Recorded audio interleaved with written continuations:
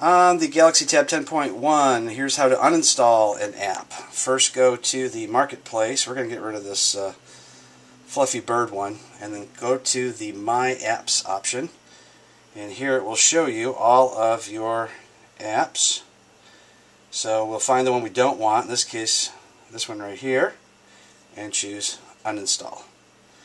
Now when we go back to our home screen, it's gone.